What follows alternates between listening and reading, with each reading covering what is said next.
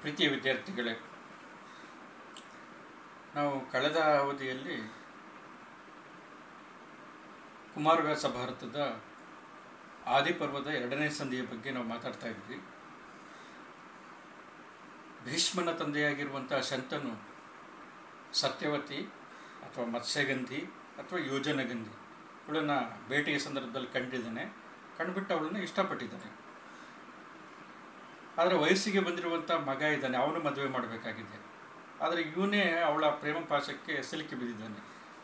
ಹೇಳ್ಕೊಳ್ಳೋಂಗಿಲ್ಲ ಬಿಡೋಂಗಿಲ್ಲ. ಆ ಥರದ ವಿರಹ ವೇದನೆಯಲ್ಲಿ ನರಳ್ತಾ ಇದ್ದಾನೆ. ಊರಿನ ಜನರೆಲ್ಲ ಹಸ್ತಿನಾಪುರದ ಜನರೆಲ್ಲರೂ ಕೂಡ ಮಾತಾಡ್ತಾ ಇದ್ದಾರೆ, ಏನು ಅಂತಂತಂದರೆ, ರಾಜನ ಅವಸ್ಥೆ ಈ ಥರ ಆಯಿತು ಅಂತಂತಂದರೆ, ಅಂದರೆ ಯಾರ ಹತ್ರನೂ ಮಾತು ಇಲ್ಲ ಕತೆ ಇಲ್ಲ, ಮತ್ತು ಆಸ್ಥಾನವನ್ನು ಅವನು ಅಟೆಂಡ್ ಮಾಡ್ತಾ ಇಲ್ಲ. ಒಡ್ಡೋಲಗವನ್ನು ಉದ್ದೇಶಿಸಿ ಮಾತಾಡ್ತಾ ಇಲ್ಲ, ಎಲ್ಲೂ ಕೂಡ ಕಾಣಿಸ್ಕೊಳ್ತಾ ಇಲ್ಲ. ಇಂಥ ಸಂದರ್ಭ ಒದಗಿ ಬಂತು ಅಂತಂತಂದರೆ, ರಾಜ ಇನ್ನು ಏಳೆಂಟು ಒಂಬತ್ತು ದಿವಸಗಳಿಗೆ ರಾಜ ಪರಲೋಕವನ್ನು ಏರ್ತಾನೆ ಅಥವಾ ಮೃತ್ಯುವನ್ನು ಹಾಕ್ತಾನೆ ಅನ್ನುವಂಥ ಮಾತು ಜನರು ಉಬ್ಬರಿದ ಮಾತಿನಲ್ಲಿ ಮಾತಾಡೋದಕ್ಕೆ ಶುರು ಮಾಡಿದ್ರು. ಸರಿ, ಇದು ಮಗ ಭೀಷ್ಮನಿಗೆ ಗೊತ್ತಾಯಿತು. ಭೀಷ್ಮ ಅಂತಂತಂದರೆ ನಾನು ಕಳೆದ ಅವಧಿಯಲ್ಲಿ ಹೇಳಿದ್ದೆ ಏನು ಅಂತಂತಂದರೆ, ಈ ಭೀಷ್ಮನ ಮೊದಲ ಹೆಸರು ದೇವವ್ರತ, ವಾಲ್ಮೀಕಿಯ ಸಾರಿ ವ್ಯಾಸನ ಮಹಾಭಾರತದಲ್ಲಿ. ವ್ಯಾಸನ ಮಹಾಭಾರತದಲ್ಲಿ ದೇವವ್ರತ ಅಂತಂತ ಹೆಸರು ಪಡ್ಕೊಂಡಿದ್ದಾನೆ. ಇನ್ನೂ ಭೀಷ್ಮ ಅಂತಂತಂದ್ಬಿಟ್ಟು ಅವನಿಗೆ ಹೆಸರಾಗಿಲ್ಲ. ಹೆಸರು ಅವನಿಗೆ ಪ್ರಖ್ಯಾತವಾಗಿಲ್ಲ. ಆದರೆ ಕುಮಾರವ್ಯಾಸ ಭೀಷ್ಮ ಅಂತಂತ ಮೊದಲೇ ಅವನು ನಿರ್ಧರಿಸಿ ಹೇಳ್ತಾ ಇದ್ದಾನೆ. ಭೀಷ್ಮ ಅಂತಂತಂದ್ಬಿಟ್ಟು. ಅವನ ವ್ಯಕ್ತಿತ್ವದಲ್ಲೇ ಆ ಭೀಷ್ಮತನ, ಭೀಷ್ಮ ಅಂತಂತಂದರೆ ಭಯಂಕರತನ ಅನ್ನುವಂಥದ್ದೊಂದಿದೆ. ಪರಾಕ್ರಮ ಇಲ್ಲಾದರೂ ಆಗಲಿ ಅಥವಾ ಅವನ ನೈತಿಕ ಚಾರಿತ್ರ್ಯದಲ್ಲಾದರೂ ಆಗಲಿ. ಸರಿ, ಭೀಷ್ಮ ಏನು ಮಾಡ್ತಾನೆ ಅಂತಂತಂದರೆ ಶಂತನುವಿನ ಮಂತ್ರಿ ಜೊತೆಗೆ ಸಮಾಲೋಚನೆ ಮಾಡಿ, ಏನು ಕಾರಣ ತಂದೆಯ ಪರಿಸ್ಥಿತಿಗೆ ಅಂತಂದ್ಬಿಟ್ಟು ವಿಚಾರಿಸ್ಬಿಟ್ಟು ಅವನೇನು ಮಾಡ್ತಾ ಇದ್ದಾನೆ ಅಂತಂತಂದರೆ ಕಾರಣವನ್ನು ತಿಳ್ಕೊಂಡು ದಾಸರಾಜನ ಬಳಿಗೆ ಹೋಗ್ತಾ ಇದ್ದಾನೆ. ಈ ದಾಸರಾಜ ಯಾರು ಅಂತಂತಂದರೆ ನಿಮ್ಗಾಗಲೇ ಗೊತ್ತಿದೆ ಏನು ಅಂತಂತಂದರೆ ಇವನು ಆ ಯಮುನಾ ನದಿ ತೀರದಲ್ಲಿ ತೆಪ್ಪವನ್ನು ನಡೆಸ್ತಾ ಇರುವಂಥ ಆ ಯೋಜನ ಗಂಧಿಯ ಸಾಕು ತಂದೆ. ಸರಿ ಅವನತ್ರ ಈಗ ಶಂತನುವಿನ ಮಗನಾಗಿರುವಂಥ ಗಂಗಾಸೂನು ಆಗಿರುವಂಥ ಗಂಗಾ ಪುತ್ರನಾಗಿರುವಂಥ ಭೀಷ್ಮ ಬಂದಿದ್ದಾನೆ. ಭೀಷ್ಮ ಅವನ ಜೊತೆ ಮಾತಾಡ್ತಾ ಇದ್ದ ಭೀಷ್ಮ ರಾಜಕುಮಾರ. ಶಂತನುವಿನ ಮಗ ಹಸ್ತಿನಾವತಿಯ ಯುವರಾಜ. ಸೊ ಆದ್ದರಿಂದ ಅವನೇನು ಮಾಡ್ತಾ ಇದ್ದಾನೆ ಅಂತಂದರೆ ಕರೆಸ್ತಾ ಇದ್ದಾನೆ. ರಾಜತ್ವದ ವಿ ಕರೆಸ್ತಾ ಇದ್ದಾನೆ, ಯಾರನ್ನ? ದಾಸರಾಜನನ್ನು. ಓದುವಂಥ ಕ್ರಮ. ನೋಡ್ರಿ, ಅಲ್ಲಿಂದ ಇದು ಶುರು ಮಾಡಬೇಕು. ಓದ್ತೀನಿ. ಇಪ್ಪತ್ತೇಳನೇ ಷಟ್ಪದಿ ದ್ವಿತೀಯ ಸಂಧಿಯಲ್ಲಿ ಮೂವತ್ತೆಂಟು ಷಟ್ಪದಿಗಳಿದ್ದಾವೆ ಈ ಮೂವತ್ತೆಂಟು ಷಟ್ ಷಟ್ಪದಿಗಳಲ್ಲಿ ಇದು ಇಪ್ಪತ್ತೇಳನೇ ಷಟ್ಪದಿ. ಓದುವಂಥ ಕ್ರಮ ಗಮನಿಸಿ. ಕರೆಸಿದನು ಧೀವರನನು ಅಯ್ಯಂಗೆ ಅರಸಿಯಾಗಲಿ ನಿನ್ನ ಮಗಳು ಎನ್ನಲು. ಅರಸಿಯಾದರೆ ಮಗಳ ಮಕ್ಕಳು ರಾಜ್ಯವಾಳುವರೆ. ಅರಿದು ಸಲಿಸುವಡೆ ಇದನ್ನು ನೀ ಬರಿಯ ಅರಸುತನ ನಮಗೆ ಏಕೆನೆಲು. ಧೀವರನ ಮಾತಿಂಗೆ ಈತನೆಂದನು ರಾಯ ಕೇಳೆಂದ. ರಾಜನ ಕೇಳು, ಈ ಥರ ಆಯಿತು ನಡೀತು ಅಲ್ಲಿ. ಯಾರು ಹೇಳ್ತಾ ಇರುವಂಥದ್ದು? ವೈಶಂಪಾಯನ ಹೇಳ್ತಾ ಇರುವಂಥದ್ದು. ಯಾರಿಗೆ? ಜನಮೇಜಯನಿಗೆ. ರಾಜ ಜನಮೇಜಯನಿಗೆ ಹೇಳ್ತಾ ಇರುವಂಥದ್ದು.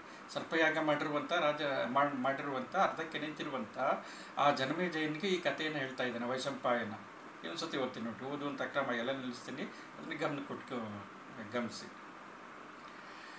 ಕರೆಸಿದನು ಧೀವರನನು ಅಯ್ಯಂಗೆ ಅರಸಿಯಾಗಲಿ ನಿನ್ನ ಮಗಳು ಎನ್ನಲು, ಅರಸಿಯಾದರೆ ಮಗಳ ಮಕ್ಕಳು ರಾಜ್ಯವಾಳುವರೆ, ಅರಿದು ಸಲಿಸುವಡೆ ಇದನ್ನು ನೀ ಬರಿಯ ಅರಸುತನ ನಮಗೆ ಏಕೆ?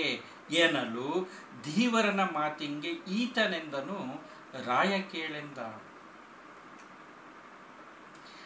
ಸರಿ, ಭೀಷ್ಮ ಭೀಷ್ಮ ಬಂದ್ಬಿಟ್ಟಿದ್ದಾನೆ ಧೀವರನ ಹತ್ರ. ಧೀವರ ಅಂತಂತಂದ್ರೆ ದಾಸರಾಜ.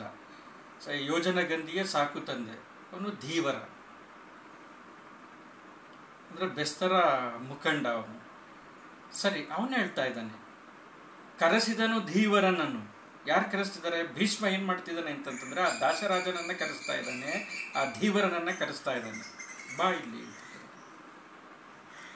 ಆಮೇಲೆ ಹೇಳ್ತಾ ಇದ್ದಾನೆ, ಏನು, ಅಯ್ಯಂಗೆ ಅರಸಿಯಾಗಲಿ ನಿನ್ನ ಮಗಳು ಏನಲು ನಮ್ಮ ತಂದೆ ನಿನ್ನ ಮಗಳನ್ನ ಕಂಡು ಮೋಹಗೊಂಡಿದ್ದಾನೆ, ಇಷ್ಟಪಟ್ಟಿದ್ದಾನೆ, ಮದುವೆ ಆಗಬೇಕು ಅಂತ ಬಯಸಿದ್ದಾನೆ, ಆದ್ರಿಂದ ಅಯ್ಯಂಗೆ ಅರಸಿಯಾಗಲಿ. ನನ್ನ ತಂದೆಗೆ ನಿನ್ನ ಮಗಳು ಅರಸಿಯಾಗಲಿ, ರಾಣಿಯಾಗಲಿ. ನನಗೆ ಚಿಕ್ಕಮ್ಮ ಆಗಲಿ ಅನ್ನುವಂಥ ಅರ್ಥದಲ್ಲಿ. ಅಯ್ಯಂಗೆ ಅರಸಿಯಾಗಲಿ ನಿನ್ನ ಮಗಳು ಏನಲ್ಲೂ, ನಿನ್ನ ಮಗಳು ಅರಸಿಯಾಗಲಿ ಅಂತ ತಂದ್ಬಿಟ್ಟು ಒಂದು ಪ್ರಸ್ತಾವನೆಯನ್ನು ಇಡ್ತಾ ಇದ್ದಾನೆ. ಯಾರು? ಭೀಷ್ಮ ದಾಸರಾಜನ ಬಳಿ, ಧೀವರನ ಬಳಿ. ಧೀವರ ಎಷ್ಟು ಹುಷಾರಿದ್ದಾನೆ. ಯಾಕೆಂತಂತಂದರೆ ಅವನು ಆ- ಆ ಸಮುದಾಯದ ಪಂಗಡದ ಮುಖಂಡನಾಗಿರುವಂಥವನು. ಆದ್ದರಿಂದ ಅವನಿಗೆ ಆ ಚಾಕಚಕ್ಯತೆ ಇದೆ. ಅವನು ಕೇಳ್ತಾ ಇದ್ದಾನೆ. ಮರು ಪ್ರಶ್ನೆ ಆಗ್ತಾ ಇದ್ದಾನೆ. ಯಾರಿಗೆ? ಭೀಷ್ಮನಿಗೆ. ನಿನ್ನ ಮಗಳು ಏನಲು ಅರಸಿಯಾದರೆ ಮಗಳ ಮಕ್ಕಳು ರಾಜ್ಯವಾಳುವರೆ? ನನ್ನದೊಂದು ಪ್ರಶ್ನೆ ಇದೆ. ಭೀಷ್ಮ, ಏನು? ಈಗ ನೀನು ಕೇಳ್ತಿದ್ಯಾ ಏನು ಅಂತಂತಂದರೆ, ನನ್ನ ಮಗಳು ನಿನ್ನ ತಂದೆಗೆ ರಾಣಿಯಾಗಲಿ ಅಂತ ತಂದ್ಬಿಟ್ಟು ನೀನು ಕೇಳ್ತಾ ಇದ್ದೀಯಾ? ಆದರೆ ನೀನು ಯಾರು? ನೀನು ಆ ಶಂತನುವಿನ ಮೊದಲ ಮಗ, ಮತ್ತು ಯುವರಾಜ. ಈಗ ನನ್ನ ಮಗಳು ಏನಾದರೂ ನಿನ್ನ ತಂದೆಗೆ ಹೆಂಡತಿಯಾದರೆ ಅವಳಿಗೆ ಹುಟ್ಟುವಂಥ ಮಕ್ಕಳು, ನನ್ನ ತಂದೆಯಲ್ಲಿ ಅವಳಿಗೆ ಹುಟ್ಟುವಂಥ ಮಕ್ಕಳು, ಮಗಳ ಮಕ್ಕಳು ರಾಜ್ಯವಾಳುವರೆ? ಇದು ನನ್ನ ಪ್ರಶ್ನೆ. ನನ್ನ ಮಗಳ ಮಕ್ಕಳು, ಅಂದ್ರೆ ನನ್ನ ಮೊಮ್ಮಕ್ಕಳು ರಾಜ್ಯವನ್ನು ಆಳ್ತಾರ ನೀನು ರಾಜನಾಗ್ತೀಯ? ಮತ್ತೆ ನನ್ನ ಮೊಮ್ಮಕ್ಕಳು ಏನಾಗ್ತಾರೆ? ನಿನ್ನ ಅನುಯಾಯಿಗಳಾಗೇ ಇರಬೇಕಾಗುತ್ತೆ, ನಿನ್ನ ದಾಸರಾಗಿರಬೇಕಾಗುತ್ತೆ. ಅದು ನನ್ನ ಪ್ರಶ್ನೆ. ಮತ್ತು ಮಗಳ ಕೊಟ್ಟು ಏನು ಪ್ರಯೋಜನ? ಅವಳಿಗೆ, ಆ ಶಂತನುವಿಗೆ ಅರಿದು ಸಲ್ಲಿಸುವಡೆ ಇದನ್ನು ಇದನ್ನು ನೀನು ವಿಚಾರ ಮಾಡಿ ಸರಿಯಾಗಿ ಹೇಳಿದರೆ. ಇಲ್ಲ ನೀನು ರಾಜನಾಗುವಂಥದ್ದ ಅಥವಾ ನನ್ನ ಮೊಮ್ಮಕ್ಕಳು ಅಥವಾ ಶಂತನು ಮತ್ತು ಯೋಜನೆಗಂದಿಗೆ ಹುಟ್ಟುವಂಥ ಮಕ್ಕಳು ರಾಜರ, ರಾಜರಾಗ್ತಾರ ಅನ್ನುವಂಥದ್ದನ್ನು ಇದನ್ನು ನೀನು ನನಗೆ ಸ್ಪಷ್ಟವಾಗಿ ತಿಳಿಸಿದ್ರೆ ಅರಿದು ಸಲ್ಲಿಸುವಡೆ ಇದನ್ನು ನೀ ಬರಿಯ ಅರಸುತನವಿ ನಮಗೇಕೆ? ಇದನ್ನು ನೀನು ಕರೆಕ್ಟಾಗಿ ತಿಳ್ಕೊಂಡು ನನಗೆ, ನಮಗೆ ಹೇಳಬೇಕು. ಇಲ್ಲ ಅಂತಂದ್ರೆ ಬರಿಯ ಈ ಅರಸುತನ ರಾಜಮನೆತನದಲ್ಲಿ ಹತ್ತೇ ಹತ್ತು ಜನರ ಜೊತೆಗೆ ಹನ್ನೊಂದನೇ ರಾಣಿಯಾಗಿ ನನ್ನ ಮಗಳು ಸೇರ್ಕೊಂಡ್ರೆ ಏನು ಪ್ರಯೋಜನ ಇದೆ ಅದರಲ್ಲಿ ಎಲ್ಲರೂ ಕೂಡ ನಿನ್ನ ಅನುಯಾಯಿಗಳಾಗುವಂಥವ್ರು, ನಿನ್ನ ಅವ್ರು ಹುಟ್ಟುವಂಥ ಮಕ್ಕಳು, ನಿನ್ನ ದಾಸರಾಗುವಂಥವ್ರೆ. ಅದರಲ್ಲಿ ಏನು ಪ್ರಯೋಜನ ಇದೆ? ಹೇಳ್ತಾ ಇದ್ದಾನೆ. ಅರಿದು ಸಲ್ಲಿಸುವಡೆ ಇದನ್ನು ನೀ ಬರಿಯ ಅರಸುತನ ನಮಗೆ ಏಕೆನಲು ಧೀವರನ ಮಾತಿಂಗೆ ಈತನೆಂದನು ರಾಯ ಕೇಳೆಂದ. ಇದನ್ನು ಕೇಳಿದಂಥ ಧೀವರನ ಮಾತಿಗೆ, ಈ ಥರ ಪ್ರಶ್ನೆ ಮಾಡಿದಂಥ ಆ ದಾಸರಾಜನ ಮಾತಿಗೆ ಭೀಷ್ಮ ಈ ಥರ ಹೇಳ್ತಾ ಇದ್ದಾನೆ ಜನಮೇಜಯ ಕೇಳು ಇದನ್ನ, ಮುಂದೆ ಏನಾಯಿತು ಅನ್ನುವಂಥದ್ದನ್ನ. ನೋಡಿ ಸಂಭಾಷಣೆಯಲ್ಲಿ ಎಷ್ಟು ಚೆನ್ನಾಗಿ ಪರಸ್ಪರ ಮಾತುಕತೆ ಅಥವಾ ಸಮಾಲೋಚನೆ ಅಥವಾ ಒಂದು ನಾಟಕೀಯವಾಗಿರುವಂಥ ವಿವರಗಳನ್ನು ತರ್ತಾನೆ ಅಂತಂತಂದರೆ ಕುಮಾರವ್ಯಾಸ ಕುಮಾರವ್ಯಾಸ ಆ್ಯಕ್ಚುಲಿ ನಿರೂಪಣೆ ಮಾಡೋದಕ್ಕೆ ಹೋಗೋದಿಲ್ಲ. ಸಂಭಾಷಣೆಯಲ್ಲೇ ಏನು ಮಾಡ್ತಾನೆ? ಕಥನ ಕ್ರಮವನ್ನು ಕಟ್ತಾ ಹೋಗ್ತಾನೆ. ಸೊ ಆದ್ದರಿಂದ ಅವನ ಶೈಲಿಯಲ್ಲೇ ಒಂದು ನಾಟಕೀಯವಾಗಿರುವಂಥ ಒಂದು ಗುಣ ಸಿದ್ಧಿಸ್ಬಿಟ್ಟಿದೆ. ಹೇಳ್ತಾ ಇರುವಂಥದ್ದು ಧೀವರನ ಮಾತಿಂಗೆ ಈತನಿಂದನು ತಕ್ಷಣ ಭೀಷ್ಮ ಏನು ಮಾಡ್ತಿದ್ದಾನೆ ಅಂತಂದರೆ, ಯಾವಾಗ ಧೀವರ, ಅಂದರೆ ದಾಸರಾಜ ವ್ಯಾಸನ ಮಹಾಭಾರತದಲ್ಲಿ ಬಂದಿರುವಂಥ ಹೆಸರು ದಾಸರಾಜ. ಈ ದಾಸರಾಜ ಏನು ಹೇಳ್ತಾ ಇದ್ದಾನೆ ಅಂತಂತಂದರೆ, ಭೀಷ್ಮನ ಮಾ ದಾಸರಾಜನ ಮಾತಿಗೆ ಭೀಷ್ಮ ಏನು ಮಾಡ್ತಿದ್ದಾನೆ ಅಂತಂದರೆ, ತಕ್ಷಣ ಪ್ರತ್ಯುತ್ತರವನ್ನು ಕೊಡ್ತಾ ಇದ್ದಾನೆ. ಜನಮೇಜಯನೇ ಕೇಳು. ಯಾರು ಹೇಳ್ತಾ ಇರುವಂಥದ್ದು? ವೈಸಪ್ಪನ ಹೇಳ್ತಾ ಇರುವಂಥದ್ದು. ನೋಡ್ರಿ. ಭೀಷ್ಮ ದಾಸರಾಜನ ಬಳಿಗೆ ಬಂದಿದ್ದಾನೆ ದೇವನ ಬಳಿಗೆ ಬಂದಿದ್ದಾನೆ. ನನ್ನ ತಂದೆಗೆ ನಿನ್ನ ಮಗಳು ರಾಣಿಯಾಗಲಿ ಅಂತಂದು ಕೇಳ್ತಾ ಇದ್ದಾನೆ. ಕೇಳಿದಂಥ ಸಂದರ್ಭದಲ್ಲಿ ಧೀವರ ಏನು ಮಾಡ್ತಿದ್ದಾನೆ ಅಂತಂದರೆ ಮಗಳ ಪರವಾಗಿ ಮಾತಾಡ್ತಾ ಇದ್ದಾನೆ. ಆಯ್ತಪ್ಪ ಭೀಷ್ಮ, ನೀನು ಹೇಳುವಂಥ ಮಾತಿಗೆ ಬರ್ತೀನಿ. ನನ್ನ ಮಗಳೇನಾದರೂ ನಿಮ್ಮ ತಂದೆಗೆ ರಾಣಿಯಾದರೆ ಅವಳ ಮಕ್ಕಳು ಅಂದರೆ ಶಂತನು ಮತ್ತು ದಾ, ಇದು ಶಂತನು ಮತ್ತು ಯೋಜನಗಂದಿಗೆ ದಾಸರಾಜನ ಮಗಳಾಗಿರುವಂಥ, ನನ್ನ ಮಗಳಾಗಿರುವಂಥ ಆ ಯೋಜನಗಂದಿಯ ಮಕ್ಕಳಿಗೆ ರಾಜ್ಯತನ ಅನ್ನುವಂಥ ಸಿಗುತ್ತಾ, ರಾಜ್ಯದ ಒಡೆತನ ಅನ್ನುವಂಥ ಸಿಗುತ್ತಾ? ಇದನ್ನು ನೀನು ತಿಳ್ಕೊಂಡು ನನಗೆ ಮೊದಲು ಹೇಳು. ನಾನು ನಂತರ ತೀರ್ಮಾನ ಮಾಡ್ತೀನಿ. ನನ್ನ ಮಗಳನ್ನು ಶಂತನುವಿಗೆ ಅಂದರೆ ನಿನ್ನ ತಂದೆಗೆ ಕೊಡಬೇಕೋ ಬೇಡವೋ ಅನ್ನುವಂಥದ್ದು. ಅಂತ ಹೇಳ್ತಿದ್ದೆ ಭೀಷ್ಮನ ಮಾತನ್ನು ಪ್ರತ್ಯುತ್ತರವಾಗಿ ಮಾತಿಗೆ ಮಾತು. ಸಂಭಾಷಣೆ ಇನ್ನೂ ಕೂಡ ಮುಗ್ದಿಲ್ಲ. ನೆಕ್ಸ್ಟು ಸ್ಟಾನ್ಸ ಇಪ್ಪತ್ತ ಎಂಟನೇದು ಇಪ್ಪತ್ತೆಂಟನೆಯ ಷಟ್ಪದಿ. ಷಟ್ಪದಿ ನೆನ್ಪು ಮಾಡ್ಕೊಳ್ರಿ ಷಟ್ಪದಿ ಅಂತ ಭಾಮಿನಿ ಷಟ್ಪದಿ. ತಕ್ಷಣ ಭೀಷ್ಮ ಮರು ಮಾತಾಡ್ತಾ ಇದ್ದಾನೆ. ಇದು ಭೀಷ್ಮನ ಜೀವನದಲ್ಲಿ ಅತ್ಯಂತ ನಿರ್ಧಾರಾತ್ಮಕವಾಗಿರುವಂಥ ಘಳಿಗೆ ಇದು. ಯಾಕೆಂತಂದ್ರೆ ಅವನ ಬದುಕನ್ನು ಬದಲಿಸಿದಂಥ ಇಡೀ ಮಹಾಭಾರತದ ಬದುಕನ್ನು, ಮಹಾಭಾರತದ ಒಂದು ಚಲನೆಯನ್ನು, ಗತಿಯನ್ನು, ದಿಕ್ಕನ್ನು ಬದಲಾಯಿಸಿದಂಥ ಪ್ರತಿಜ್ಞೆ ಮಾಡ್ತಾ ಇದ್ದಾನೆ. ಯಾರು? ಭೀಷ್ಮ ಅಥವಾ ಭೀಷ್ಮ ನಾಮಕ ದೇವ್, ದೇವವ್ರತ. ಭೀಷ್ಮ ಇನ್ನೂ ಕೂಡ ಅವನು ಆಗಿಲ್ಲ. ಎಲ್ಲಿ ವ್ಯಾಸನ ಮಹಾಭಾರತದ ಪ್ರಕಾರ. ಆದರೆ ಇಲ್ಲಿ ಕುಮಾರವ್ಯಾಸ ಭೀಷ್ಮ ಅಂತ ಹೇಳ್ತಿದ್ದಾನೆ. ಭೀಷ್ಮನ ಪ್ರತ್ಯುತ್ತರ. ತುಂಬ ಖಡಕ್ಕಾಗಿ ಮಾತಾಡ್ತಾ ಇದ್ದಾರೆ ಧೀವರನ ಮಾತಿಂಗೆ ಈತನೆಂದನು ರಾಜ ಕೇಳೆಂದ. ಏನಂತ ಇದ್ದಾನೆ ಆಯ್ತು, ನೀನು ಹಿಂಗೆ ಹೇಳ್ತಾ ಇದೀಯ ಧೀವರ?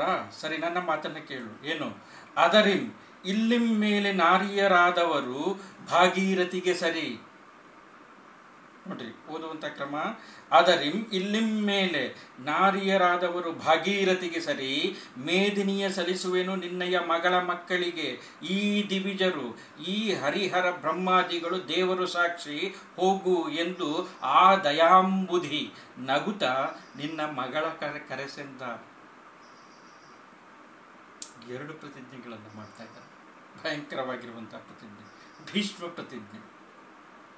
ಇನ್ನೊಂದು ಓದ್ತೀನಿ ನೋಡಿ ಸರಿ, ನಿನ್ನ ಮಾತಿಗೆ ನಾನು ಪ್ರತ್ಯುತ್ತರವನ್ನು ಕೊಡ್ತಾ ಇದ್ದೀನಿ ದಾಸರಾಜ. ಗಮನ ಕೊಟ್ಟು ಕೇಳು, ಚಿತ್ತೈಸಿ ಕೇಳು, ಮನಸ್ಸು ಕೊಟ್ಟು ಕೇಳು. ಅದರಿಂ ಇಲ್ಲಿಂ ಮೇಲೆ ನಾರಿಯರಾದವರು ಭಾಗೀರಥಿಗೆ ಸರಿ, ಮೇದಿನಿಯ ಸರಿಸುವೆನು ನಿನ್ನಯ ಮಗಳ ಮಕ್ಕಳಿಗೆ. ಈ ದಿವಿಜರು, ಈ ಹರಿಹರ ಬ್ರಹ್ಮಾದಿ ದೇವರು ಸಾಕ್ಷಿ, ಹೋಗು ಎಂದು ಆ ದಯಾಂಬುಧಿ ನಗುತ ನಿನ್ನಯ ಮಗಳ ಕರೆಸೆಂದ. ಭೀಷ್ಮ ಪ್ರತಿಜ್ಞೆ. ತನ್ನ ತಂದೆಗೋಸ್ಕರ ಏನು ಮಾಡ್ತಾ ಇದ್ದಾನೆ ಅಂತಂದರೆ ತನ್ನ ವೈವಾಹಿಕ ಜೀವನವನ್ನು ತ್ಯಾಗ ಮಾಡ್ತಾ ಇದ್ದಾನೆ. ತನ್ನ ತಂದೆಗೋಸ್ಕರ ಏನು ಮಾಡ್ತಾ ಇದ್ದಾನೆ ಅಂತಂದರೆ ತನ್ನ ಹಸ್ತಿನಾವತಿಯ ಯುವರಾಜ ಪಟ್ಟವನ್ನು ತ್ಯಾಗ ಮಾಡ್ತಾ ಇದ್ದಾನೆ. ಮುಂದಿನ ದಿನ ಅವನಿಗೆ ಅದು ರಾಜ್ಯವಾಗಿ ಸಿಗಬೇಕಾಗಿದೆ. ಅವನು ಅದರ ರಾಜನಾಗಬೇಕಾಗಿದೆ. ಮಹಾರಾಜನಾಗಬೇಕಾಗಿದೆ. ಆ ಸಂದರ್ಭದಲ್ಲಿ ಶಂತನು ಚಕ್ರವರ್ತಿ. ಇವನು ನಂತರ ಚಕ್ರವರ್ತಿಯ ಪಟ್ಟವನ್ನು ಗ್ರಹ ಗ್ರಹಣ ಮಾಡಬೇಕಾಗಿರುವಂಥವ್ರು ಗ್ರಹಿಸಬೇಕಾಗಿರುವಂಥವನು ಅದನ್ನು ಬಿಟ್ಕೊಡ್ತಾ ಇದೆ ಇವತ್ತು ನಾವೊಂದು ಸಣ್ಣ ಪುಟ್ಟದಾಗಿರುವಂಥ ಒಂದು ವಸ್ತುವನ್ನು ಕೊಡೋದಕ್ಕೆ ಹಿಂದೆ ಮುಂದೆ ನೋಡ್ತೀವಿ. ನಮ್ಮ ಪರಿಸ್ಥಿತಿ ಆ ಥರ ಇದೆ. ಆದರೆ ಇವನು ನನ್ನ ಜೀವನದಲ್ಲಿ ನಾನು ಎಂದೂ ಕೂಡ ಮದುವೆ ಆಗೋದಿಲ್ಲ. ಮದುವೆ ಆಗೋದು ಅಂತ ತೊಂದಲ್ಲ ಬ್ರಹ್ಮಚಾರಿಯಾಗಿ ಉಳಿತೀನಿ. ಬ್ರಹ್ಮಚಾರಿಯಾಗಿ ಉಳಿತೀನಿ ಹೇಳಿದ್ನ ಹಂಗೆ ಅವನ ಮಾತುಗಳದನ್ನು ಹೇಳ್ತಾ ಇದ್ದೆ. ನಾನು ಅದನ್ನು ವಿವರಿಸ್ಬೇಕಾದ್ರೆ ಹೇಳ್ತೀನಿ. ಇನ್ನೊಂದು ರಾಜ್ಯವನ್ನು ಪರಿಗ್ರಹಿಸಲ್ಲ. ಪರಿತ್ಯಾಗ ಮಾಡಿದನು. ನೋಡಿ ಏನು ಹೇಳ್ತಾನೆ? ಆಯಿತು, ನಿನ್ನ ಮಾತಿಗೆ ನನ್ನ ಪ್ರತ್ಯುತ್ತರ. ದೇವರನ್ನು ಹೇಳ್ತಾ ಇರುವಂಥದ್ದು.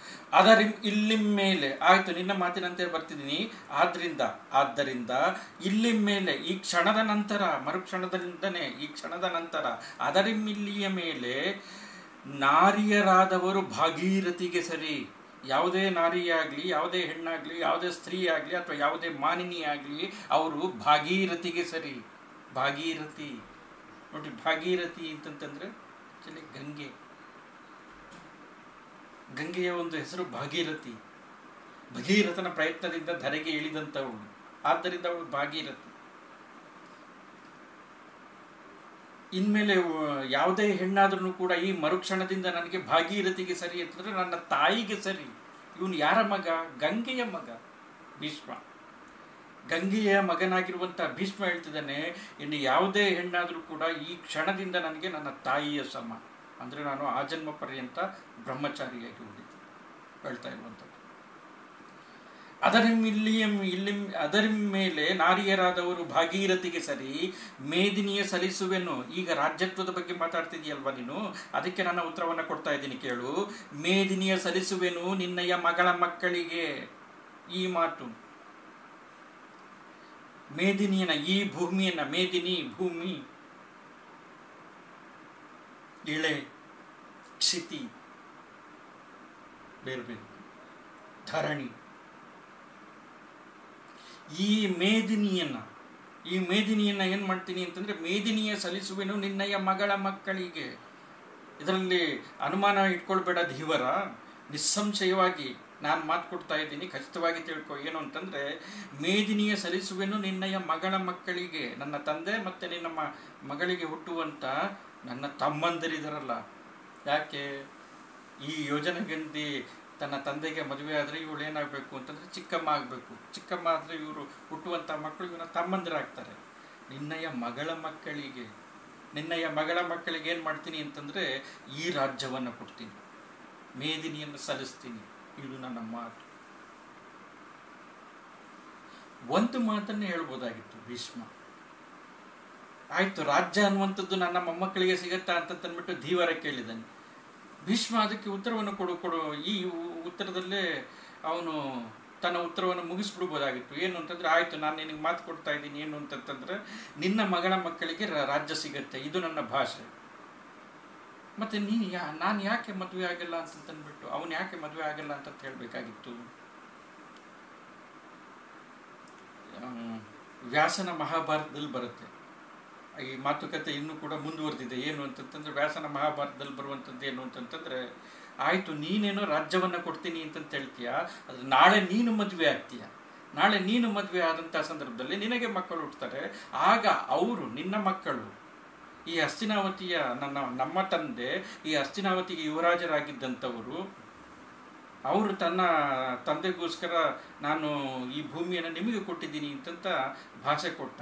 ಆಯಿತು, ಭಾಷೆ ಕೊಟ್ಟ, ಸರಿ. ಆದರೆ ಅದು ಅವನು ಕೊಟ್ಟಿರುವಂಥ ಭಾಷೆ. ನಮಗೆ ಅದು ಸಂಬಂಧಪಟ್ಟಿಲ್ಲ ಅಂತ ತಂದ್ಬಿಟ್ಟು ಅವರೇನಾದರೂ ಪ್ರಶ್ನೆ ಕೇಳಿದ್ರೆ ಆಗೇನು ಮಾಡೋದು ಅನ್ನುವಂಥ ಒಂದು ಪ್ರಶ್ನೆಯನ್ನು ಈ ದಾಸರಾಜ ಅಥವಾ ಧೀವರ ಆಗ್ತಾನೆ ಅದಕ್ಕೆ ಭೀಷ್ಮ ಹೇಳುವಂಥ ಮೊದಲ ಪ್ರತಿಜ್ಞೆ ಏನು ಅಂತಂತಂದರೆ, ಇನ್ನು ಮೇಲೆ ಯಾವುದೇ ನಾರಿಯಾಗಲಿ, ಯಾವುದೇ ಸ್ತ್ರೀ ಆಗಲಿ ಯಾವುದೇ ಹೆಣ್ಣಾಗಲಿ ಅವರು ನನಗೆ ಭಾಗೀರಥಿಗೆ ಅಥವಾ ಗಂಗೆಗೆ ಸರಿ ಅಥವಾ ನನ್ನ ತಾಯಿಗೆ ಸಮ. ಆ ಜನ್ಮ ಪರ್ಯಂತ ನಾನು ಬ್ರಹ್ಮಚಾರಿಯಾಗಿ ಉಳಿತೀನಿ. ಅಂದರೆ ಇದು ಇದು ನಂತರದ ಪರ್ಯಂತ ನಾನು ಬ್ರಹ್ಮಚಾರಿಯಾಗಿ ಉಳಿತೀನಿ. ಮತ್ತೆ ನಿನ್ನ ಎರಡನೇ ಅನುಮಾನ ಏನಿದೆಯಲ್ಲ, ನಿನ್ನ ಮಗಳ ಮಕ್ಕಳಿಗೆ ರಾಜ್ಯವನ್ನು ಸಲ್ಲಿಸ್ತೀನಿ. ಸರಿನಾ? ಹೇಳ್ತಾ ಇರುವಂಥದ್ದು. ಎರಡು ಹೇಳ್ತಿದ್ದಾನೆ. ಇದಕ್ಕೆ ಈ ಮಾತಿಗೆ ಈ ದಿವಿಜರು ದಿವಿಜರು, ದಿವ ಅಂದರೆ ಆಗಸ, ಆಕಾಶ. ಆಗಸದಲ್ಲಿ ಓಡಾಡುವಂಥವ್ರು, ಚಲಿಸುವಂಥ ಆಗಸದಲ್ಲಿರುವಂಥವ್ರು.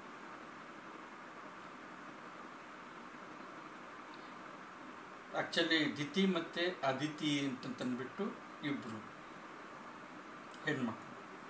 ದ್ವಿತೀಯ ಮಕ್ಕಳು ದೈತ್ಯರಾದರು, ದಾನವರು. ಅದಿತಿಯ ಮಕ್ಕಳು ದೇವತೆಗಳು. ಈ ಅದಿತಿಯ ಮಕ್ಕಳು ದಿವಿಜದಲ್ಲಿ, ಅಂದರೆ ದಿವದಲ್ಲಿರ್ತಾರೆ. ದಿವ ಅಂತಂದರೆ ಆಗಸ್ಟ್ನಲ್ಲಿರ್ತಾರೆ. ಆಗಸ್ಟಲ್ಲೇ ಇರುವಂಥವರು. ಆ ದಿವಿಜರು ಈ ದೇವತೆಗಳು, ಅಂದರೆ ದೇವತೆಗಳು. ಈ ದಿವಿಜರು, ಈ ಹರಿಹರ ಬ್ರಹ್ಮಾದಿಗಳು ತ್ರಿಮೂರ್ತಿಗಳು ಸೃಷ್ಟಿಗೆ ಕಾರಣಕರ್ತರಾಗಿರುವಂಥವರು, ಸ್ಥಿತಿಗೆ ಪಾ, ಪಾಲನೆಗೆ ಕಾರಣಕರ್ತರಾಗಿರುವಂಥವರು, ಮತ್ತು ಲಯಕ್ಕೆ ಕಾರಣಕರ್ತನಾಗಿರುವಂಥ ಶಿವ, ವಿಷ್ಣು, ಮತ್ತು ಬ್ರಹ್ಮ ಹೇಳ್ತಾ ಇರುವಂಥದ್ದು. ಈ ಹರಿಹರ ಬ್ರಹ್ಮಾದಿಗಳು ದೇವರು ಸಾಕ್ಷಿ, ಹೋಗು ಎಂದು. ಇದು ಅಂತಿಮ ಇದು. ಹೋಗೆಂದ ದಯಾಂಬುದಿ ನಗುತ. ದಯಾಂಬುದಿ. ನೋಡಿ, ಭೀಷ್ಮನಿಗೆ ಹೇಳುವಂಥ ಒಂದು ವಿಶೇಷಣ ಏನು ಅಂತಂದರೆ ಕುಮಾರವ್ಯಾಸ, ಆ ದಯಾಂಬುದಿ ನಗುತ. ತಂದೆಯ ಮೇಲಿರುವಂಥ ದಯೆ ಅವನಿಗೆ ನನ್ನ ತಂದೆ ಚೆನ್ನಾಗಿರಲಿ ಅಂತಂತಂದ್ಬಿಟ್ಟು ಆ ದಯಾಂಬುತಿ, ದಯಾಂಬುದಿ ನಗುತ್ತಾ ನಿನ್ನಯ ಮಗಳ ಕರೆಸೆಂದ. ಈಗ ಸಮಾಧಾನ ಆಯ್ತು ತಾನೆ?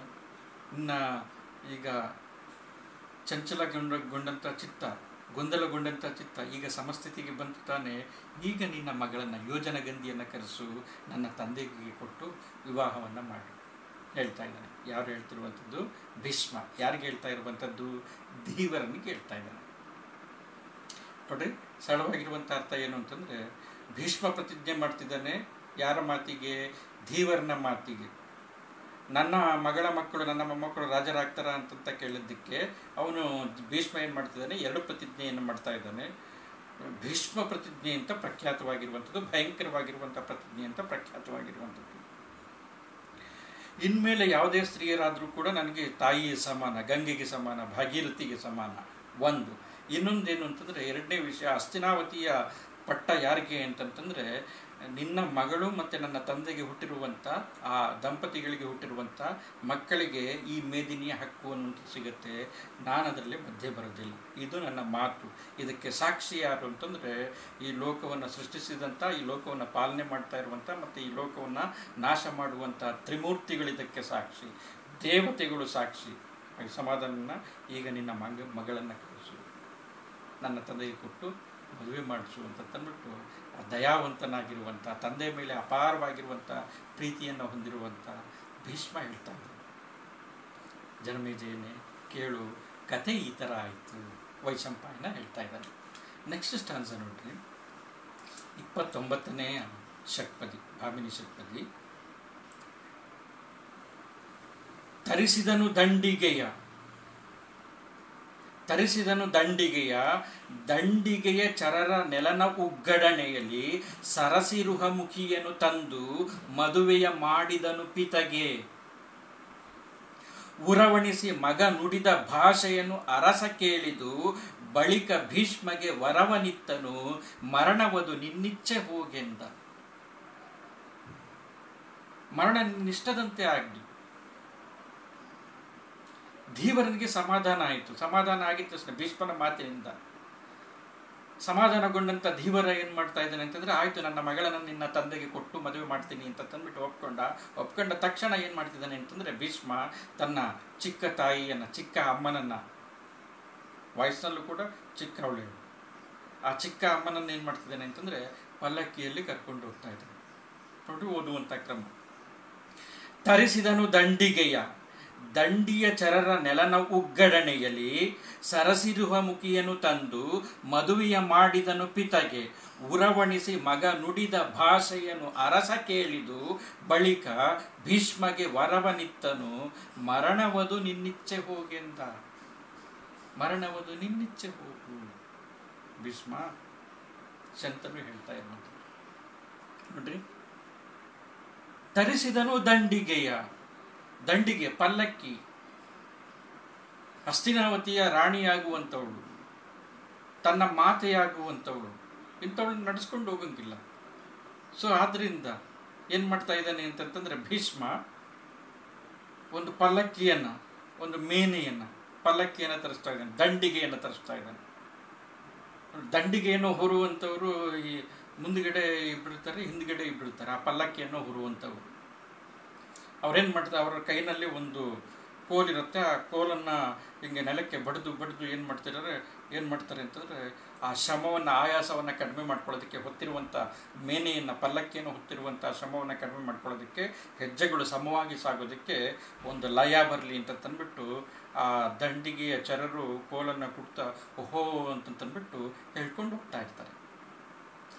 ಸೊ ಆದ್ದರಿಂದ ತರಿಸಿದನು ದಂಡಿಗೆಯ ದಂಡಿಗೆ ದಂಡಿಯ ಚರರ, ದಂಡಿಯ ಚರರು, ದಂಡಿಯನ್ನು ಹೊತ್ತಿರುವಂತು ಹೊತ್ಕೊಂಡು ನಡ್ಕೊಂಡು ಹೋಗ್ತಾ ಇರುವಂಥವ್ರು ಸಾಕ್ತಾ ಇರುವಂಥವ್ರು ಚರರು, ಹೊತ್ತು ಸಾಕ್ತಾ ಇರುವಂಥವ್ರು ಯಾರು? ದಂಡಿಯ ಚರರು.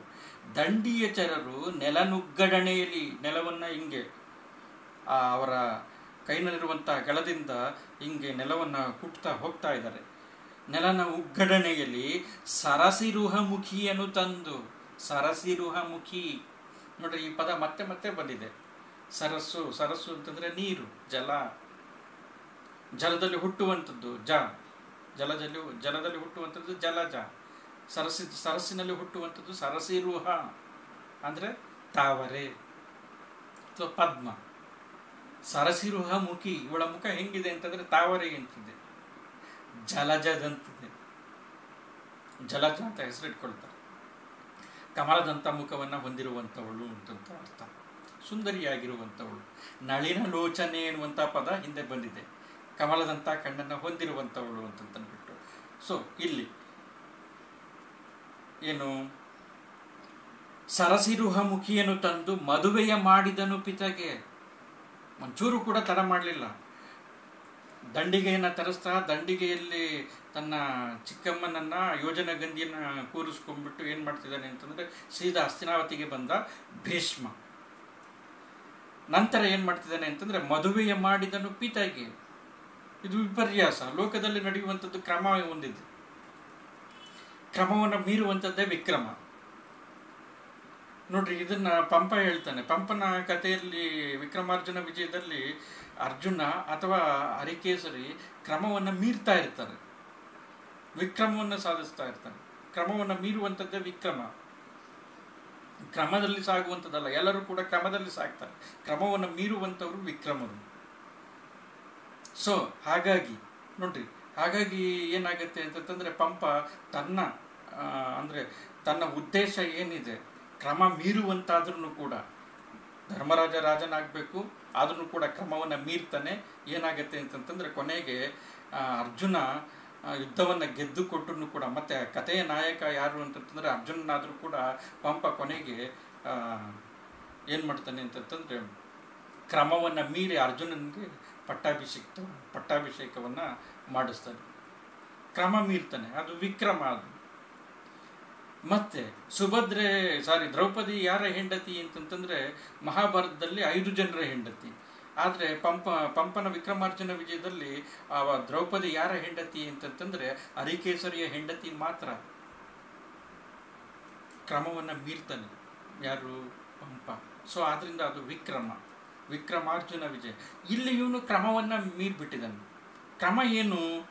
ಭೀಷ್ಮನ ಸಂದರ್ಭದಲ್ಲಿ, ಭೀಷ್ಮ ಮತ್ತು ಶಂತನುವಿನ ಸಂದರ್ಭದಲ್ಲಿ ಕ್ರಮ ಏನು ಅಂತಂದರೆ, ತಂದೆಯಾಗಿರುವಂಥವನು ಮಗನ ಮದುವೆಯನ್ನು ಮಾಡಬೇಕಾಗಿರುವಂಥದ್ದು ಕ್ರಮ. ಇದು ರೂಢಿಗತವಾಗಿರುವಂಥದ್ದು.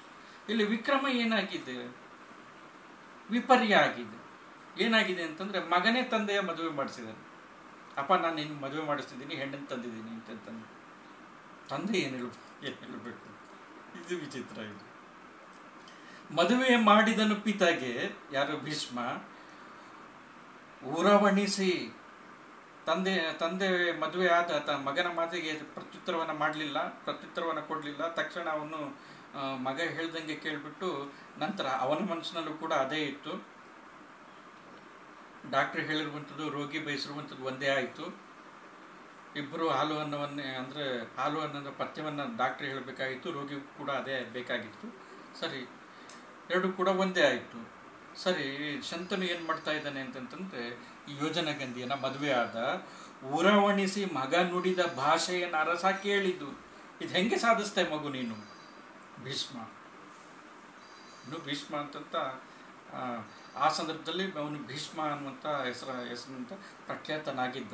ಯಾವಾಗ ಈ ಎರಡು ಪ್ರತಿಜ್ಞೆಗಳನ್ನು ಎರಡು ಭಾಷೆಗಳನ್ನು ಕೊಡ್ತಾನೆ ದಾಸರಾಜನಿಗೆ ಅಥವಾ ಧೀವರನಿಗೆ ಆಗ ದೇವತೆಗಳು ಆಗಸದಿಂದ ಏನು ಮಾಡ್ತಾರೆ ಅಂತಂದರೆ ಭೀಷ್ಮ ಅಂತಂತನ್ಬಿಟ್ಟು ಹೇಳ್ತಾರಂತೆ. ಭೀಷ್ಮ ಭೀಷ್ಮ ಅಂತಂದ್ಬಿಟ್ಟು ವ್ಯಾಸನ ಮಹಾಭಾರತದಲ್ಲಿ ಬರುವಂಥದ್ದು.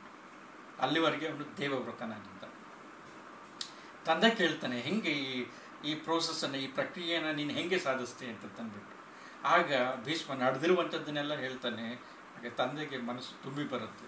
ಊರವಣಿಸಿ ಸಡಗರದಿಂದ, ಸಂಭ್ರಮದಿಂದ ನನ್ನ ಮಗ ನನಗೋಸ್ಕರ ಇಷ್ಟನ್ನು ಮಾಡಿದ್ದಾನೆ ಮನಸ್ಸು ತುಂಬಿ ಬಂತು.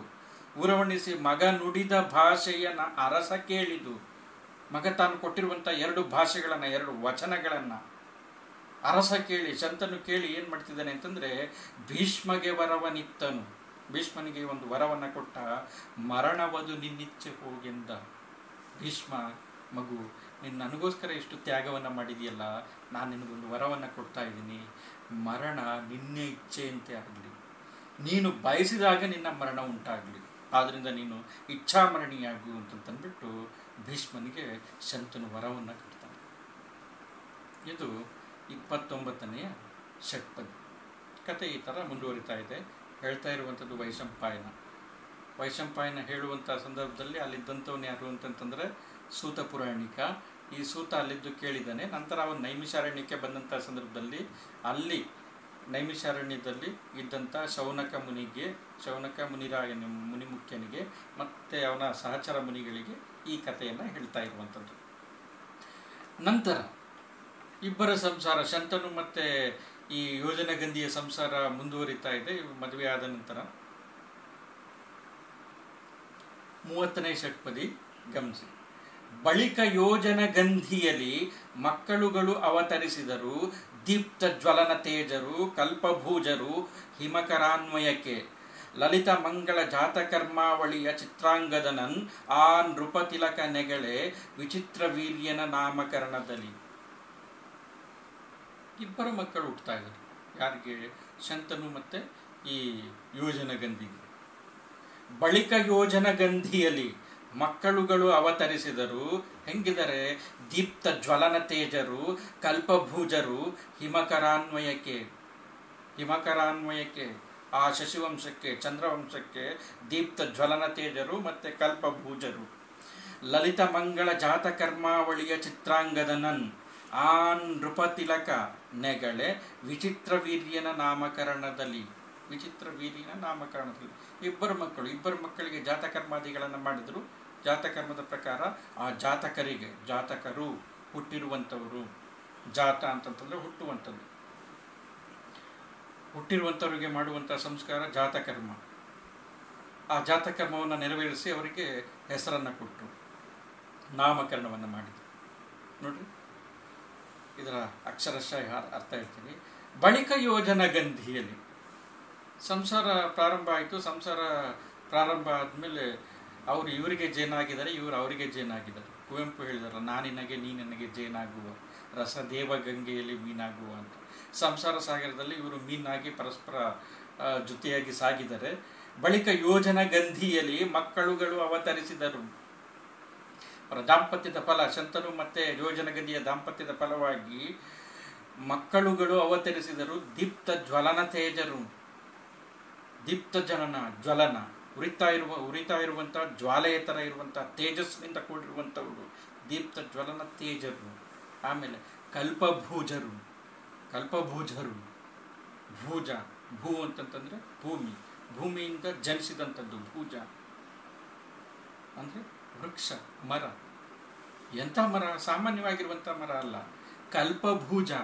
ಕಲ್ಪವೃಕ್ಷ ಸದೃಶವಾಗಿ ಕಲ್ಪವೃಕ್ಷದಂತೆ ಬೆಳೆದಂತೆ, ಬೇಡಿದವರಿಗೆ ಇಲ್ಲ ಅಂತೆ, ಕೊಡುವಂಥ ಕೈಯನ್ನು ಹೊಂದಿದಂಥವರಾಗಿ, ದಾನ ಮಾಡುವಂಥ ಮನಸ್ಸನ್ನು ಉಳ್ಳಂಥವರಾಗಿ ಅವರು ಬೆಳೆದು ತೇಜಸ್ಸಿನಿಂದ ಕೂಡಿದರು. ಈ ಥರ ಆ ವ್ಯಕ್ತಿಗಳು ಅಂದರೆ ಆ ಇಬ್ಬರು ಮಕ್ಕಳು ಜನಿಸಿದರು. ಕಲ್ಪಭೂಜರು, ಕಲ್ಪ ಅಂದರೆ ಕಲ್ಪವೃಕ್ಷದಂತೆ ಸದಸ್ಯರಾಗಿರುವಂಥವರು. ನಂತರ ಅಗ್ನಿಯಂತೆ ಜಲು ಜ್ವಲಿಸ್ತಾ ಇದ್ದಂಥವರು, ತೇಜ, ತೇಜಸ್ವಿಗಳಾಗಿದ್ದಂಥವ್ರು, ತೇಜಪ್ಪಂಜರಾಗಿರುವಂಥವ್ರು, ಅಂಥವ್ರು. ಇಂಥವ್ರಿಗೆ ಈಗ ಏನು ಮಾಡ್ತಾ ಇದ್ದಾನೆ? ರಾಜ ತನ್ನ ಕರ್ತವ್ಯವನ್ನು ಮಾಡ್ತಾ ಇದ್ದಾನೆ, ತಂದೆಯಾಗಿ. ಲಲಿತ ಮಂಗಳ, ಲಲಿತ ಸುಂದರ, ಮಧುರ ಮಧು ಸುಂದರವಾಗಿರುವಂಥದ್ದು, ಕ್ರಮಾನುಸಾರಿಯಾಗಿರುವಂಥದ್ದು. ಲಲಿತ ಮಂಗಳ ಜಾತಕರ್ಮಾವಳಿಯ ಎಲ್ಲ ಸಂಸ್ಕಾರಗಳ ಸಮೂಹ ಇವು. ಜಾತಕರ್ಮಾವಳಿಯ ಲಲಿತ ಮಂಗಳ ಜಾತ, ಮಂಗಳ ಶುಭಕರವಾಗಿರುವಂಥ, ಸುಂದರವಾಗಿರುವಂಥ, ಶುಭಕರವಾಗಿರುವಂಥ ಜಾತಕರ್ಮಾದಿ ಕ್ರಿಯೆಗಳನ್ನು ತಂದೆಯಾಗಿರುವಂಥ ಸಂತನು ಏರ್ಪಡಿಸ್ತಾ, ಯಾರ ಸಂದರ್ಭದಲ್ಲಿ ಈ ಇಬ್ಬರು ಮಕ್ಕಳುಗಳಿಗೆ ಸಂಬಂಧಪಟ್ಟಂಗೆ. ಚಿತ್ರಾಂಗದನನ್ ಒಬ್ಬರಿಗೆ ಹೆಸರನ್ನ ಇಟ್ಟರು ದೊಡ್ಡವನಿಗೆ ಚಿತ್ರಾಂಗದ ಅನ್ನುವಂಥ ಹೆಸರನ್ನ. ಚಿತ್ರಾಂಗದನನ್ ಆ ನೃಪ ತಿಲಕ ಆ ನೃಪ ತಿಲಕ ಆ ನೃಪ ತಿಲಕ ನೃಪ ನೃಪ ನೃಪ ನೃಪ ಅಂತಂತಂದ್ರೆ ಹೇಳಿದ್ದೆ ನಾನು, ರಾಜ ಅಂತಂತಂದ್ರೆ ರಾಜರಿಗೆ ತಿಲಕಪ್ರಾಯನಾಗಿರುವಂಥವನು ತಿಲಕವನ್ನು ಕಾಲಿನಲ್ಲಿ ಇಟ್ಕೊಳ್ಳೋದಿಲ್ಲ, ತಲೆಯಲ್ಲಿ ಇಟ್ಕೊಳ್ತಾರೆ. ದೇಹದಲ್ಲಿ ಅತ್ಯಂತ ಉನ್ನತವಾಗಿರುವಂಥ ಅಂಗ ಇವನು ರಾಜರಲ್ಲಿ ರಾಜರಲ್ಲಿ ಅತ್ಯಂತ ಉನ್ನತನಾಗಿರುವಂಥವನು. ನೃಪ ತಿಲಕ ಯಾರು? ಶಂತನು ಈ ಶಂತನು ಏನು ಮಾಡ್ತಿದ್ದಾನೆ ಅಂತಂದರೆ ಮೊದಲನೇ ಮಗನಿಗೆ ಚಿತ್ರಾಂಗದ ಅನ್ನುವಂಥ ಹೆಸರನ್ನು ಕೊಡ್ತಾ ಇದ್ದಾನೆ. ಆಮೇಲೆ ಎರಡನೇವನಿಗೆ ವಿಚಿತ್ರ ವೀರ್ಯ ನೃಪತಿ ಇಲಾಖ ಏನು ಮಾಡ್ತಿದ್ದಾನೆ ಅಂತಂದರೆ ಎರಡನೇವನಿಗೆ ವಿಚಿತ್ರ ವೀರ್ಯ ಅನ್ನುವಂಥ ನಾಮಕರಣವನ್ನು ಮಾಡ್ತಾ ಇದ್ದಾನೆ. ಆ ಎರಡು ಹೆಸರಿನಿಂದ ಪ್ರಖ್ಯಾತರಾಗಿ ಬೆಳೀತಾ ಇದ್ದಾರೆ. ಚಿತ್ರಾಂಗದ ಮತ್ತು ವಿಚಿತ್ರ ವೀರ್ಯ ಎನ್ನುವಂಥ ಅಣ್ಣ ತಮ್ಮಂದರು. ನೆಗಳ್ ನೆಗಳ್ ಅಂತಂತಂದರೆ ನೆಗಳ್ ಅಂತಂತಂದರೆ ಎರಡು ಅರ್ಥ ಇದೆ. ಒಂದು ನೆಗಳ್ ಅಂತಂತಂದ್ರೆ ಮೊಸಳೆ ಅನ್ನುವಂಥ ಅರ್ಥ ಇದೆ. ಇನ್ನೊಂದು ನೆಗಳು ಅಂತಂತಂದರೆ ನೆಗಳೆ ಅಂತಂತ, ನೆಗಳ್ ಅಂತಂತಂದರೆ ಪ್ರಸಿದ್ಧರಾಗು, ಪ್ರಖ್ಯಾತರಾಗು ಅನ್ನುವಂಥ ಅರ್ಥ ಇದೆ. ಇಲ್ಲಿ ಪ್ರಖ್ಯಾತರಾಗಿದ್ದಾರೆ. ಪ್ರಖ್ಯಾತರಾಗಿ ಬೆಳೀತಾ ಇದ್ದಾರೆ. ಯಾರು? ಚಿತ್ರಾಂಗದ ಮತ್ತು ವಿಚಿತ್ರ ವೀರ್ಯ. ಅತ್ಯಂತ ತೇಜಸ್ವಿಗಳಾಗಿ ಮತ್ತು ಪ್ರಭಾವಶಾಲಿಗಳಾಗಿ, ಸಾಮರ್ಥ್ಯಶಾಲಿಗಳಾಗಿ ಅವರು ಬೆಳೀತಾ ಇದ್ದಾರೆ. ಯಾರು? ಚಿತ್ರಾಂಗದನ್, ಚಿತ್ರಾಂಗದ ಮತ್ತು ವಿಚಿತ್ರವೀರ್ಯ, ಈ ಶಂತರು ಮತ್ತು ಯೋಜನಗಂಧಿಯ ಮಕ್ಕಳು. ಯಾರ ಜೊತೆಗೆ? ಭೀಷ್ಮನ ಜೊತೆಗೆ ಬೆಳೀತಾ ಇದ್ದಾರೆ. ಭೀಷ್ಮನ ಜೊತೆಯಲ್ಲಿ. ಮೂವತ್ತೊಂದನೆಯ ಷಟ್ಪದಿ ಈ ರೀತಿ ಸಾಕ್ತಾ ಇದೆ. ಕಾಲ ಸಾಕ್ತಾ ಇದೆ, ಇವರ ಬದುಕು ಕೂಡ ಸಾಕ್ತಾ ಇದೆ. ಇರಲಿರಲು ಹಿಂಗಿದ್ದಂಥ ಸಂದರ್ಭದಲ್ಲಿ ಒಂದು ಸತಿ ಏನಾಯಿತು? ಇರಲಿರಲು ಶಂತನು ಮಹೀಪತಿ ಸುರರೊಳಗೆ ಸೇರಿದನು. ಬಳಿಕ ಧರಣಿಯ ಒಡೆತನವಾಯಿತು ಚಿತ್ರಾಂಗದ ಕುಮಾರಂಗೆ. ಚಿತ್ರಾಂಗದ ಕುಮಾರಂಗೆ, ಅರಸ ಕೇಳೈ. ನಂತರ ಹೇಳ್ತಾ ಇರುವಂಥದ್ದು, ಅರಸ ಕೇಳೈ. ಯಾರು ಹೇಳೋದು? ವೈಶಂಪಾಯನ ಜನ್ಮೇಜಯನ್ಗೆ ಹೇಳ್ತಿರುವಂಥದ್ದು, ಕಥೆ ಹೇಳ್ತಾ ಇರುವಂಥದ್ದು. ಅರಸ ಕೇಳೈ, ಕೆಲವು ಕಾಲಾಂತರದಲ್ಲಿ ಆತನು ಕಾದಿ ಗಂಧರ್ವರಲ್ಲಿ, ಆತನು ಕಾದಿ ಗಂಧರ್ವರಲ್ಲಿ ಮಡಿದನು. ಪಟ್ಟವಾಯಿತು ವಿಚಿತ್ರ ವೀರ್ಯಂಗೆ. ಕಾಲ ಸರಿದಿದೆ. ಜೀವನನೂ ಕೂಡ ಸಾಗಿದೆ. ಇದರ ಮಧ್ಯದಲ್ಲಿ ಅನೇಕ ಘಟನೆಗಳು ನಡೆದೋಗಿದೆ. ಇದನ್ನು ಒಂದೇ ಷಟ್ಪದಿಯಲ್ಲಿ ಕುಮಾರವ್ಯಾಸ ಹೇಳ್ತಾ ಇದ್ದಾನೆ. ವ್ಯಾಸ ಅಂತಂತಂದ್ರೆ ಆಕ್ಚುಲಿ ವಿಸ್ತಾರ ಅಂತ ಅರ್ಥ. ವ್ಯಾಸ ಅದನ್ನು ತನ್ನ ಹೆಸರಿನಂತೆ ಅಂದರೆ ತನ್ನ ಆ, ಆ ಕಾರಣದಿಂದನೇ ಅಂದರೆ ಯಾವುದನ್ನು ಕೂಡ ಅವನು ಅತ್ಯಂತ ವಿಸ್ತಾರವಾಗಿ ಯಾವುದೇ ಕೃತಿಯನ್ನು ಕೂಡ ಅತ್ಯಂತ ವಿಸ್ತೃತವಾಗಿ, ಅತ್ಯಂತ ವಿಸ್ತಾರವಾಗಿ ರಚಿಸಿರುವಂಥ ಕಾರಣದಿಂದ ಅವನಿಗೆ ವ್ಯಾಸ ಅನ್ನುವಂಥ ಹೆಸರಿದೆ. ಆದ್ದರಿಂದ ವ್ಯಾಸನ ಮಹಾಭಾರತ. ಅದು ಕೂಡ ಒಂದು ಲಕ್ಷದ ಇಪ್ಪತ್ನಾಲ್ಕು ಸಾವಿರ ಶ್ಲೋಕಗಳನ್ನು ಒಳಗೊಂಡಿರುವಂಥದ್ದು. ಹದಿನೆಂಟು ಪುರಾಣಗಳನ್ನು ಬರೆದಿರುವಂಥದ್ದು, ಉಪಪುರಾಣಗಳನ್ನು ಬರೆದಿರುವಂಥ ಪ್ರಸ್ಥಾನ ತ್ರಯಗಳನ್ನು ರಚಿಸಿದಂಥವನು ಅಂತ ಹೇಳ್ತಾರೆ. ಸರಿ, ಇಲ್ಲೇನಾಯಿತು? ವ್ಯಾಸ ಎಷ್ಟು ವಿಸ್ತಾರವಾಗಿ ತನ್ನ ಮಹಾಭಾರತದಲ್ಲಿ ಈ ಘಟನೆಗಳನ್ನು ಹೇಳ್ತಾ ಹೋಗ್ತಾನೋ ಅಷ್ಟೇ ಸಂಕ್ಷಿಪ್ತವಾಗಿ ಕುಮಾರ ವ್ಯಾಸ. ಯಾಕೆಂತಂದ್ರೆ ವ್ಯಾಸನ ಕುಮಾರ, ಬಾಲಕ. ಇವನು ಅಷ್ಟು ಸಂಕ್ಷಿಪ್ತವಾಗಿ ಹೇಳ್ತಾನೆ. ಅಂದರೆ ಕತೆ ಮುಖ್ಯ. ಕಥೆಯ ಓಟ ಎಲ್ಲೂ ಕೂಡ, ಹೋಗ ಎಲ್ಲೂ ಕೂಡ ಕೆಡಬಾರದು.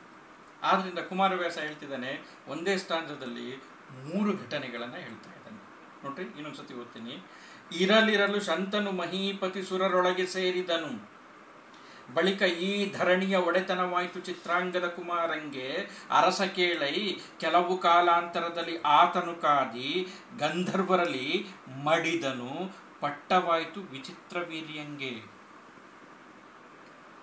ಈ ರೀತಿ ಬದುಕು ಸಾಕ್ತಾ ಇದೆ, ಈ ರೀತಿ ಜೀವನ ಸಾಕ್ತಾ ಇದೆ, ಈ ದಂಪತಿಗಳ ಜೀವನ ಸಾಕ್ತಾ ಇದೆ ಶಂತನು ಮತ್ತೆ ಯೋಜನಾ ಗಂಧಿಯ ಜೀವನ ಸಾಕ್ತಾ ಇದೆ, ಈ ಮಕ್ಕಳುಗಳು ಬೆಳೀತಾ ಇದ್ದಾರೆ, ಚಿತ್ರಾಂಗದ ಮತ್ತು ವಿಚಿತ್ರ ವೀರ್ಯ, ಈ ಭೀಷ್ಮ ತನ್ನ ಭಾ ಕೊಟ್ಟಿರುವಂಥ ಭಾಷೆಯಿಂದ, ತನ್ನ ವ್ಯಕ್ತಿತ್ವದಿಂದ, ತನ್ನ ನೈತಿಕ, ನೈತಿಕತೆಯಿಂದ ಪ್ರಖ್ಯಾತನಾಗಿ ಅವನು ಎಲ್ಲ ಕಡೆ ಕೀರ್ತಿಯನ್ನು ಸಂಪಾದಿಸ್ತಿದ್ದಾನೆ ಬದುಕು ಹಿಂಗೆ ಸಾಗಿದೆ. ಅಸ್ತಿನಾವತಿಗೆ ಒಂದು ಘನತೆ ಅನ್ನುವಂಥದ್ದು ಒಂದು ಬಂದಿದೆ. ಹಿಂಗಿರುವಂಥ ಸಂದರ್ಭದಲ್ಲಿ ಏನಾಯಿತು? ಇರಲಿರಲು ಶಂತನು ಮಹೀಪತಿ ಸುರರೊಳಗೆ ಸೇರಿದನು. ಈ ಶಂತನು ಮಹಾರಾಜ, ಮಹೀಪತಿ, ಮಹಿ ಅಂತಂದ್ರೆ ನಾನು ಆಗಲೇ ಹೇಳಿದ್ದೆ, ಹಿಂದೆ ಹೇಳಿದ್ದೆ, ಹಿಂದಿನ ತರಗತಿಗಳಲ್ಲಿ. ಮಹಿ ಅಂತಂತಂದ್ರೆ ಭೂಮಿ, ಭೂಮಿಯ ಪತಿ, ಅಂದರೆ ಒಡೆಯ. ಭೂಮಿಗೆ ಒಡೆಯನಾಗಿರುವಂಥವನು ರಾಜ. ಶಂತನು ಮಹೀಪತಿ, ಶಂತನು ಮಹಿ, ಮಹಾರಾಜ ಏನಾದ ಅಂತಂತಂದ್ರೆ ಸುರರೊಳಗೆ ಸೇರಿದನು.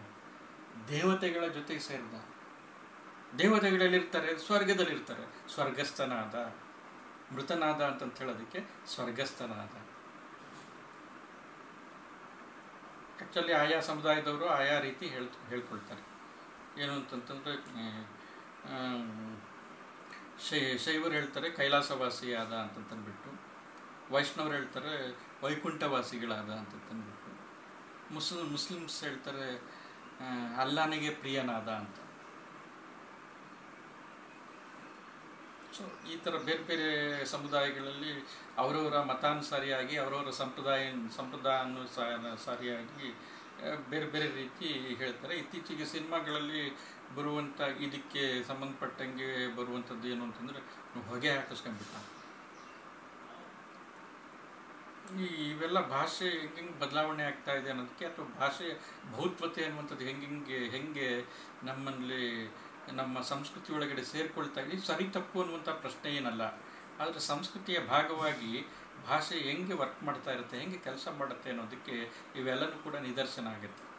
ನೋಡ್ರಿ, ಹಿಂದೆ ಏನು ಹೇಳ್ತಾ ಇದ್ರು? ಶಂತನು ಮಹೀಪತಿ ಸುರರೊಳಗೆ ಸೇರಿದನು. ಸುರರಲ್ಲಿ ಸಂದ ಅವನು. ಸಂದ ಅಂತಂತಂದ್ರೆ ಸೇರಿದ. ಬಳಿಕ ಈ ಧರಣಿಯ ಒಡೆತನವಾಯಿತು. ಚಿತ್ರಾಂಗ, ಚಿತ್ರಾಂಗದ ಕುಮಾರಂಗೆ. ಧೀವರನ್ಗೇನಾದರೂ ಭೀಷ್ಮ ಭಾಷೆಯನ್ನು ಕೊಟ್ಟಿರಲಿಲ್ಲ ಅಂತಂತಂದರೆ ನಾನು ಈ ಮೇದಿನಿಯನ್ನು ಆಳದಿಲ್ಲ ಅಂತಂತಂದ್ಬಿಟ್ಟು ನೆಕ್ಸ್ಟ್ ಯುವರಾಜ ಯಾರಾಗಿರ್ತಿದ್ದ ಅಂತಂದರೆ ಭೀಷ್ಮನೇ ಆಗಿರ್ತಿದ್ದ. ನೆಕ್ಸ್ಟ್ ಪಟ್ಟಕ್ಕೆ ಹಸ್ತಿನಾವತಿಯ ಪಟ್ಟವನ್ನು ಭೀಷ್ಮ ಅಲಂಕರಿಸ್ತಾ ಇದ್ದ. ಆದರೆ ಈ ಮೇದಿನಿ ನನಗೆ ಭಾಗೀರಥಿಗೆ ಸರಿ, ನನ್ನ ತಾಯಿಗೆ ಸಮ ಅಂತಂತ ಹೇಳಿದ್ದಾನೆ ಮತ್ತು ಯಾವುದೇ ಹೆಣ್ಣುಗಳು ಕೂಡ ನನಗೆ ತಾಯಿಗೆ ಸಮ ಅಂತಂತ ಹೇಳಿದ್ದಾನೆ ನಿನ್ನ ಮಕ್ಕಳು ಈ ಭೂಮಿಯನ್ನು ಆಳ್ತಾರೆ ಅಂತಂತ ಹೇಳಿದ್ದಾನೆ ಭೀಷ್ಮ. ಆದ್ದರಿಂದ ಕೊಟ್ಟಿರುವಂಥ ಭಾಷೆಯಂತೆ ಭೀಷ್ಮ ಏನು ಮಾಡ್ತಿದ್ದಾನೆ ಅಂತಂತಂದರೆ ಹಿರಿಯನಾಗಿರುವಂಥ ಅಣ್ಣನಾಗಿರುವಂಥ ಭೀಷ್ಮ ಏನು ಮಾಡ್ತಾನೆ ಅಂತ ಏನು ಮಾಡ್ತಿದ್ದಾನೆ? ಬಳಿಕ ಈ ಧರಣಿಯ ಒಡೆತನವನ್ನು ಚಿತ್ರಾಂಗದ ಕುಮಾರನಿಗೆ ಕೊಡ್ತಾ ಇದ್ದಾನೆ. ಮೊದಲ, ಅಂದರೆ ಶಂತನುವಿನ ಎರಡನೆಯ ಹೆಂಡತಿಯ ಮೊದಲ ಮಗ, ತನ್ನ ಚಿಕ್ಕಮ್ಮನ ಮೊದಲನೇ ಮಗ, ಚಿತ್ರಾಂಗದನಿಗೆ. ಧರಣಿಯ ಒಡೆತನ, ಧರಣಿ, ಭೂಮಿ, ನೋಡ್ರಿ ಮನಸ್ಸಲ್ಲಿ ಇಟ್ಕೊಳ್ರಿ, ಇದು ಮತ್ತೆ ಮತ್ತೆ ಬರ್ತವೆ ಪದಗಳು. ಇದನ್ನು ಮನಸ್ಸಲ್ಲಿ ಇಟ್ಕೊಂಡ್ರೆ ನಿಮಗೆ ಈಸಿ ಆಗ್ತಾ ಹೋಗುತ್ತೆ ಧರಣಿಯ ಒಡೆತನವಾಯಿತು ಚಿತ್ರಾಂಗದ ಕುಮಾರಂಗೆ. ಅವನಿನ್ನೂ ಕೂಡ ಕುಮಾರ. ಚಿತ್ರಾಂಗದ ಕುಮಾರಂಗೆ. ಇನ್ನೂ ಮದುವೆ ಆಗಿಲ್ಲ ಅವನಿಗೆ. ಆ ಚಿತ್ರಾಂಗದ ಕುಮಾರನಿಗೆ ಧರಣಿಯ ಒಡೆತನವನ್ನು, ಅಸ್ತಿನಾವತಿಯ ಪಟ್ಟವನ್ನು ಭೀಷ್ಮ ಕೊಟ್ಟ. ಅವನು ರಾಜನಾದ, ಚಿತ್ರಾಂಗದ ರಾಜನಾದ. ಅರಸ ಕೇಳ, ಈ ಸಂದರ್ಭದಲ್ಲಿ ಮತ್ತೊಂದು ಘಟನೆ ನಡಿ, ನಡೀತಾ ಇದೆ. ವೈಶಂಪಾಯನ ಹೇಳ್ತಾ ಇದ್ದಾನೆ ಜನಮೇಜಯ ಇದೇ ಸಂದರ್ಭದಲ್ಲಿ ಮತ್ತೊಂದು ಘಟನೆ ನಡೀತು. ಅದನ್ನು ಹೇಳ್ತೀನಿ, ಕೇಳು. ಅರಸ ಕೇಳೈ, ಕೆಲವು ಕಾಲಾಂತರದಲ್ಲಿ ಅಸ್ತಿನಾವತಿಯ ಪಟ್ಟವನ್ನು ಅಲಂಕರಿಸಿದಂಥ ಚಿತ್ರಾಂಗದ ಕೆಲವು ಕಾಲ ಗತಿಸಿದ ನಂತರ ಏನಾಯಿತು ಅಂತಂತಂದರೆ, ಕೆಲವು ಕಾಲಾಂತರದಲ್ಲಿ ಆತನು ಕಾದಿ ಗಂಧರ್ವರಲ್ಲಿ, ಗಂಧರ್ವರ ಜೊತೆ ಹೋರಾಡುವಂಥ ಒಂದು ಸಂದರ್ಭ ಸೃಷ್ಟಿಯಾಯಿತು. ಯಾರಿಗೆ? ಈ ಚಿತ್ರಾಂಗದನಿಗೆ ವ್ಯಾಸ ಹೇಳ್ತಾನೆ ಏನು ಅಂತಂತಂದರೆ ಚಿತ್ರಾಂಗದ ಈ ಶಂತನುವಿನ ಮಗನಾಗಿರುವಂಥ ಚಿತ್ರಾಂಗದ ಚಿತ್ರಾಂಗದ ಅನ್ನುವಂತಹ ಒಬ್ಬ ಗಂಧರ್ವನ ಜೊತೆನೆ, ಅದೇ ಹೆಸರನ್ನ ಹೊಂದಿರುವಂಥ ಒಬ್ಬ ಗಂಧರ್ವನ ಜೊತೆ ಹೋರಾಡಿಬಿಟ್ಟು ಮರಣವನ್ನು ಹೊಂದುತ್ತಾನೆ ಅಂತಂದ್ಬಿಟ್ಟು. ಇಲ್ಲಿ ಅವನು ಕೂಡ ಗಂಧರ್ವನೇ, ಇಲ್ಲಿ ಕುಮಾರವ್ಯಾಸ ಅದನ್ನು ಪಾಲಿಸ್ತಾ ಇದ್ದಾನೆ, ಆದರೆ ಹೆಸರು ಹೇಳಿಲ್ಲ ಅಷ್ಟೇ. ಕೆಲವು ಕಾಲಾಂತರದಲ್ಲಿ ಆತನು ಕಾದಿ ಗಂಧರ್ವರಲ್ಲಿ ಮಡಿದನು, ಅವನು ಕೂಡ ಮೃತ, ಮೃತನಾದ ಮರಣವನ್ನು ಹೊಂದಿದ ನಂತರ ಏನಾಯಿತು? ನಂತರ ಭೀಷ್ಮ ಅಂತೂ ಅವನು ಮೇದಿನಿಯ ಪಟ್ಟವನ್ನು ನಾನು ಅಲಂಕರಿಸೋದಿಲ್ಲ ಅಂತಂತ ಹೇಳಿಬಿಟ್ಟಿದ್ದಾನೆ, ಭಾಷೆ ಕೊಟ್ಟಿದ್ದಾನೆ. ಎರಡನೇ ಮಗ, ಎರಡನೇ ಶ, ಇದು ಶಂತನುವಿನ ಅಥವಾ ಶಂತನು ಮತ್ತು ಸತ್ಯವತಿಯ ಎರಡನೇ ಮಗ, ವಿಚಿತ್ರ ವೀರ್ಯ. ಅವನಿನ್ನೂ ಕೂಡ ಸಣ್ಣವನು. ಆ ವಿಚಿತ್ರ ವೀರ್ಯನಿಗೆ ಭೀಷ್ಮ ಏನು ಮಾಡ್ತಿದ್ದಾನೆ ಅಂತಂದರೆ ಅವನಿಗೆ ಪಟ್ಟ, ಪಟ್ಟವನ್ನು ಬಿಟ್ಟುಕೊಡ್ತಾ ಇದ್ದಾನೆ, ಪಟ್ಟವನ್ನು ಕೊಟ್ಟಿದ್ದಾನೆ. ಕೆಲವು ಕಾಲಾಂತರದಲ್ಲಿ ಆ ಚಿತ್ರಾಂಗದ ಕಾದಿ ಗಂಧರ್ವರಲ್ಲಿ ಮಡಿದನು, ಪಟ್ಟವಾಯಿತು ವಿಚಿತ್ರ ವೀರ್ಯನ್ಗೆ.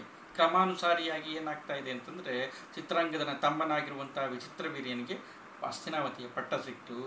ಅವನು ರಾಜನಾದ ಹಿಂಗೆ ಆಯಿತು ಅರಸ, ಕೇಳು. ವೈಶಂಪಾಯನ ಹೇಳ್ತಾ ಇರುವಂಥದ್ದು ಘಟನೆಗಳು ವೇಗವಾಗಿ ಸಾಗ್ತಾ ಇದೆ. ವರ್ಣನೆಗಳಿಗೆ ಇಲ್ಲಿ ಅವಕಾಶ ಇಲ್ಲ.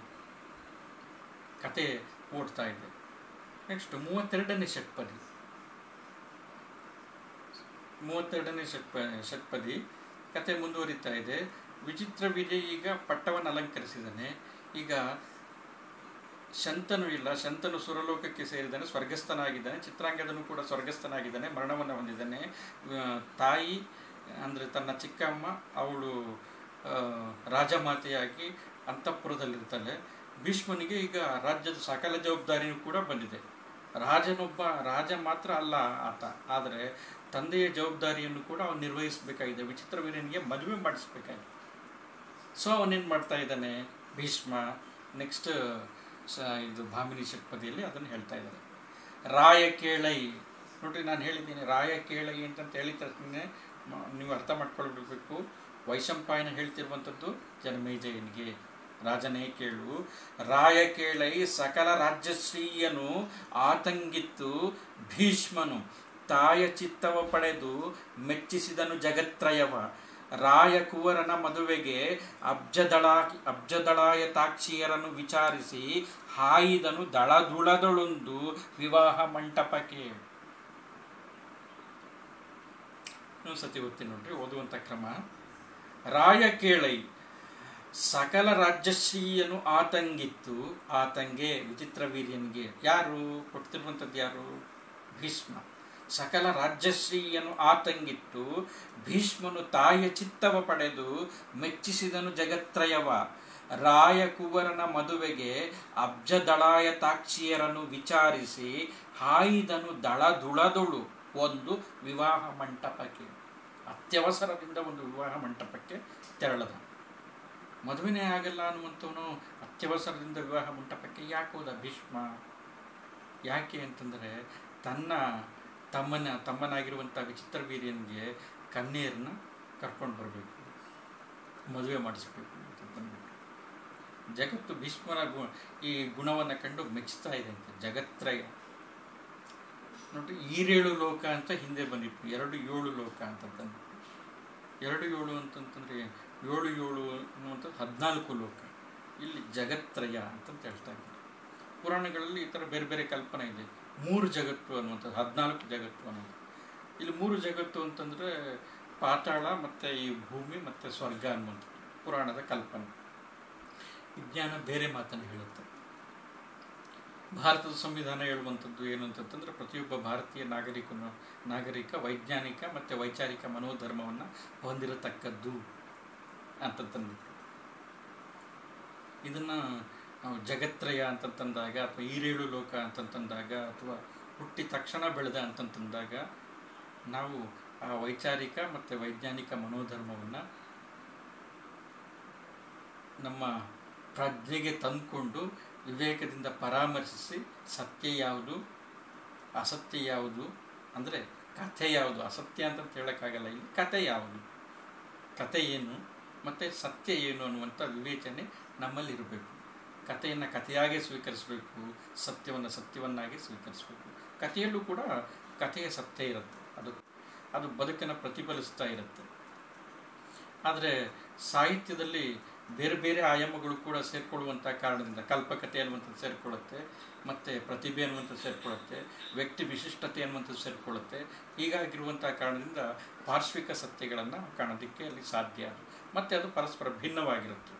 ವ್ಯಕ್ತಿಯಿಂದ ವ್ಯಕ್ತಿಗೆ, ಸಂದರ್ಭದಿಂದ ಸಂದರ್ಭಕ್ಕೆ, ಕಾಲದಿಂದ ಕಾಲಕ್ಕೆ ಅದು ಭಿನ್ನ ಆಗ್ತಾ ಹೋಗುತ್ತೆ. ಸೊ ಇಲ್ಲಿ. ರಾಯ ಕೇಳೈ, ವೈಶಂಪಾಯನ ಜನಮೇಜಯನಿಗೆ ಹೇಳ್ತಾ ಇದ್ದಾನೆ. ರಾಯ ಕೇಳೈ ಸಕಲ ರಾಜ್ಯಶ್ರೀಯನು ರಾಜ್ಯಶ್ರೀ.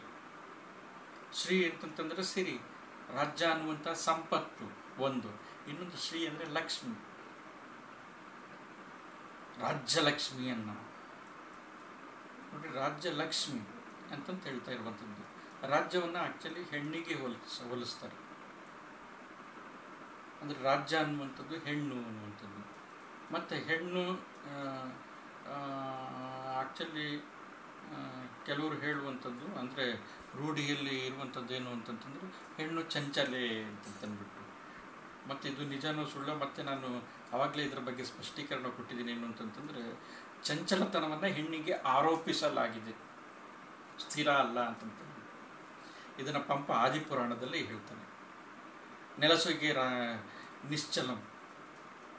ನೆಲಸುಗೆ ನಿಶ್ಚಲಂ ಈ ರಾಜ್ಯಲಕ್ಷ್ಮಿ ಅಂತಂತ ಶುರುವಾಗುವಂಥ ಪದ್ಯ. ಅಂದರೆ ಭರತ ಬಾಹುಬಲಿಗೆ ಹೇಳುವಂಥ ಪದ್ಯ. ಅವರಿಬ್ಬರ ನಡುವಿನ ಸಂಘರ್ಷದಲ್ಲಿ. ನೆಲಸಿಗೆ ನಿನ್ನ ವಕ್ಷದೊಳ ಈ ರಾಜ್ಯಲಕ್ಷ್ಮಿ. ಈ ರಾಜ್ಯಲಕ್ಷ್ಮಿ ನಿನ್ನ ವಕ್ಷದಲ್ಲಿ, ನಿನ್ನ ಹೃದಯದಲ್ಲಿ ಶಾಶ್ವತವಾಗಿ ನೆಲೆಸಲಿ. ಯಾಕೆ ಹೇಳ್ತಾ ಇದ್ದಾನೆ ಅಂತಂದರೆ ಅವಳು ಯಾರ ಜೊತೆಗೂ ಕೂಡ ಶಾಶ್ವತವಾಗಿ ಅಲ್ಲ ಅವಳು. ಯಾಕೆ? ಯಾಕೆ ಅಂತಂದರೆ ರಾಜ್ಯ ಅನ್ನುವಂಥದ್ದು ಗೆಲ್ಲುವಂಥವನ, ಬಲಿಷ್ಠನಾಗಿರುವಂಥವನ ಸ್ವತ್ತು. ಸೊ ಆದ್ದರಿಂದ ರಾಜ್ಯ ಅನ್ನುವಂಥದ್ದು ಹೆಣ್ಣಾಯಿತು, ಹೆಣ್ಣಿನ ಲೆಕ್ಕದಲ್ಲಿ ಪರಿಗಣಿಸಿದ್ರೆ ಹೆಣ್ಣು ಯಾರ ಜೊತೆನೂ ಕೂಡ ಅವಳು ಒಗೆತನವನ್ನು ಅಥವಾ ಸಂಸಾರವನ್ನು ಮಾಡುವಂಥವಳಲ್ಲ. ಯಾರು ಬಲಿಷ್ಠನಾಗಿರ್ತಾನೆ, ಯಾರು ಬಲವಂತನಾಗಿರ್ತಾನೆ, ಸಮರ್ಥನಾಗಿರ್ತಾನೆ ಅವನ ಜೊತೆ ಸಂಸಾರ ಮಾಡುವಂಥವಳು ಅನ್ನುವಂಥ ಅರ್ಥದಲ್ಲಿ. ರಾಜ್ಯಶ್ರೀ ಆದ್ದರಿಂದ ಸಂಪತ್ತು ಬರುತ್ತೆ, ಹೋಗುತ್ತೆ ಅನ್ನುವಂಥದ್ದು ಚಂಚಲತನಕ್ಕೆ ಉದಾಹರಣೆಯನ್ನು ಕೊಟ್ಟು ಹೇಳ್ತಾರೆ. ನಾವು ಅದನ್ನು ವಿವೇಕದಿಂದ ಪರಾಮರ್ಶಿಸಿ ಯೋಚಿಸಬೇಕು. ಆ ಥರದ್ದು ನಿಜವಾಗಿಯೂ ಕೂಡ ಗುಣನ, ಹಾಗಾದರೆ ಗಂಡು ಸ್ಥಿರವಾಗಿರುವಂಥ ಮನಸ್ಕನ್ನು ಅನ್ನುವಂಥದ್ದನ್ನು ಕೂಡ ಪ್ರಶ್ನೆ ಬರುತ್ತೆ. ಸೊ ಸಾಹಿತ್ಯ ಈ ಥರದ ಸಂವೇದನೆಗಳನ್ನ ಹುಟ್ಟಾಗ್ತಾ ಇರುತ್ತೆ ಯಾವಾಗಲೂ ಕೂಡ. ಈ ಸಂವೇದನೆಯನ್ನು ಈ ಥರದ ಸಂವೇದನೆಯನ್ನು ನಮ್ಮ ಮನಸ್ಸಿನಲ್ಲಿ ತರುವಂಥದ್ದು ಮತ್ತು ಮೂರ್ತಿ ಭವಿಸುವಂಥದ್ದು ಇದೆಯಲ್ಲ, ಇದಕ್ಕೊಂದು ಸ್ಪಷ್ಟ ರೂಪವನ್ನು ಕೊಡುವಂಥದ್ದು ಇದೇ ಸಾಹಿತ್ಯ ಮಾಡುವಂಥ ಮುಖ್ಯವಾಗಿರುವಂಥ ಕೆಲಸ.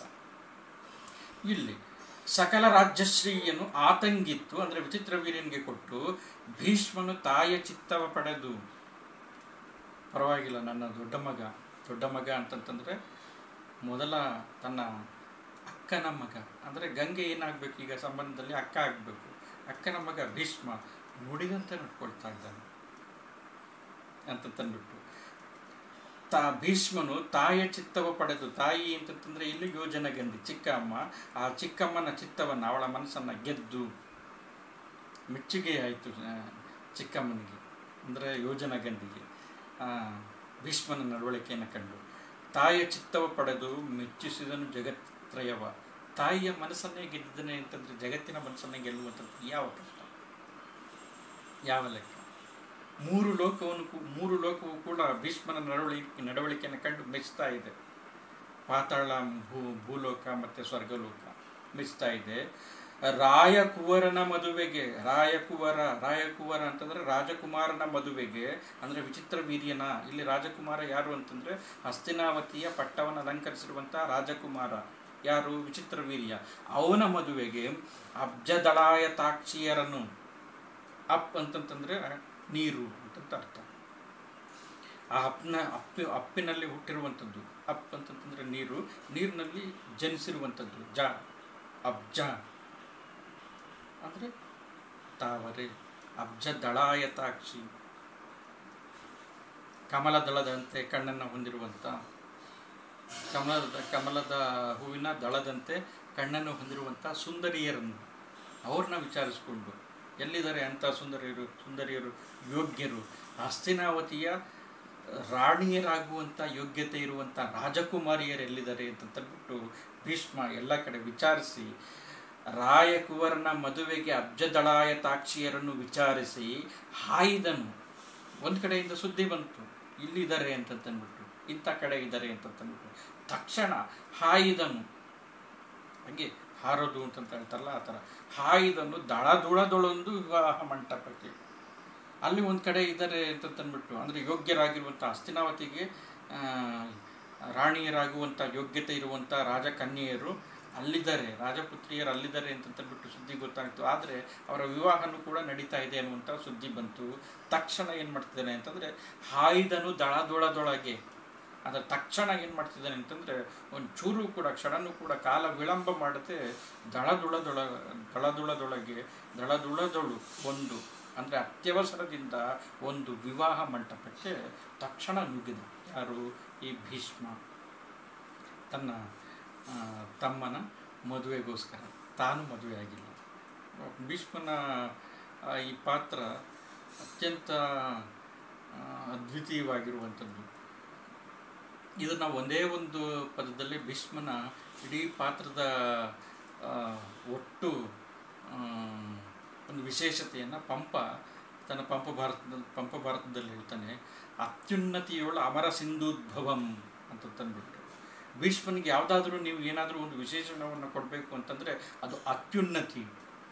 ಅತ್ಯುನ್ನತಿ ಅಂದರೆ ಆ ಉನ್ನತಿಯನ್ನು ಸಾಧಿಸಿದಂಥ ಮತ್ತೊಬ್ಬ ವ್ಯಕ್ತಿ ಇನ್ಯಾರೂ ಕೂಡ ಇಲ್ಲ. ಅತ್ಯುನ್ನತಿಯೊಳ ಅಮರ ಸಿಂಧುದ್ಭವಂ. ಅಮರ ಸಿಂಧು ಸಿಂಧು ಅಂತಂತಂದರೆ ನೀರು ಅಂತಂತಂದ್ಬಿಟ್ಟು ಸಾಗರ ಅಂತಂತಂದ್ಬಿಟ್ಟು ಆ್ಯಕ್ಚುಲಿ ಅರ್ಥ, ನಿಜವಾಗಿರುವಂಥ ಅರ್ಥ. ಇಲ್ಲಿ ನೀರು, ಅಮರ ಸಿಂಧು ಅಂದರೆ ದೇವ ನದಿ ದೇವ ನದಿಯಿಂದ ಉದ್ಭವಿಸಿದಂಥವನು, ಅಂದರೆ ಗಂಗಾಸೂನು, ಗಂಗೆಯ ಮಗ, ಅಂದರೆ ಭೀಷ್ಮ. ಭೀಮ ಅತ್ಯುನ್ನತಿಗೆ ಒಂದು ನಿದರ್ಶನ ಅಂತಂದ್ಬಿಟ್ಟು ಪಂಪನ ಪಾತ್ರವನ್ನು ಒಂದೇ ಒಂದು ವಿಶೇಷಣದಲ್ಲಿ ಪೂರ್ತಿಯಾಗಿ ಕಟ್ಕೊಟ್ಬಿಡ್ತಾನೆ ಪಂಪ. ಭೀಷ್ಮನ ಪಾತ್ರಕ್ಕೆ ಅದು ಅತ್ಯಂತ ಸೂಕ್ತವಾಗಿ ಹೊಂದುವಂಥ ಒಂದು ವಿಶೇಷಣ ಭೀಷ್ಮ ಅದರಂತೆ ತನ್ನ ಜೀವನ ಪೂರ್ತಿ ಕೂಡ ನಡ್ಕೊಂಡ ಅನ್ನುವಂಥದ್ದು. ಇದು ಮೂವತ್ತೆರಡನೇ ಸ್ಟಾನ್ಸ ಭಾಮಿನಿ ಷಟ್ಪದಿ ಮುಂದಿನ ಷಟ್ಪದಿಗಳನ್ನು ಮುಂದಿನ ತರಗತಿಯಲ್ಲಿ ನಮಸ್ತೆ.